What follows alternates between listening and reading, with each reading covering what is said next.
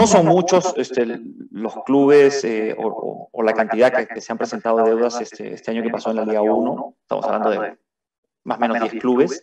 Muchos de ellos ya, ya, ya están por resolverse, son, son montos pequeños, alguna liquidación que quedó pendiente, alguna, alguna bonificación que, que, que sea, de algún jugador particular. Si fuese de un plantel completo, te diría si me preocupa este club. Y te lo digo, por ejemplo, me preocupa el Boys.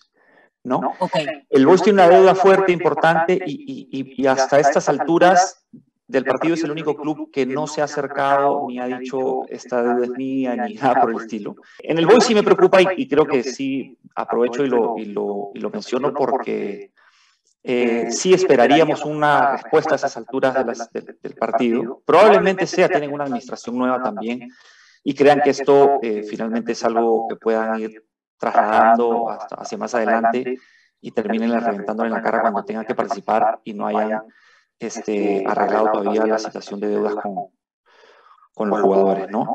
Universitario tenía, por ejemplo, eh, eh, un, un, tema pendiente que no, no era un tema menor, pero fue el primero en sentarse con nosotros, ya fue el primero desde el año pasado, así tenemos que ordenar esto, tenemos que ordenar esto, ni bien entró, y ya tenemos casi todo eso cerrado, por ejemplo, eso hay, que, hay que mencionarlo también.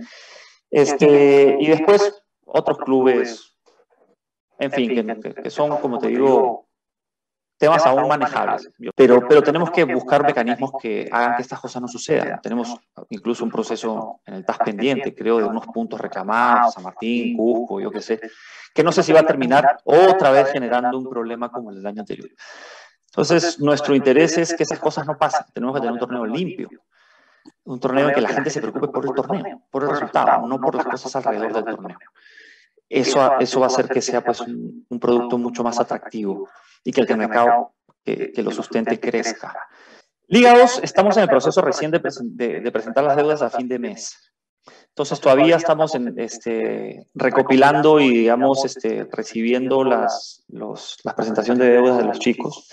Liga 2 es un poco más complicado. Eh, los clubes son clubes ah, en donde encuentras a ver, hay, hay clubes un poquito más, vamos a decir, históricamente desordenados, eh, históricamente eh, que ya todos los años te muestran comportamientos que, eh, de, incumplimiento y de que no, no asumen el tema. Yo qué sé, voy a citar un ejemplo, el Aurich, ¿no? Los últimos años es como que no sabes quién está delante del Aurich y, te pelotean y te tiran para allá y no, no asumen y no...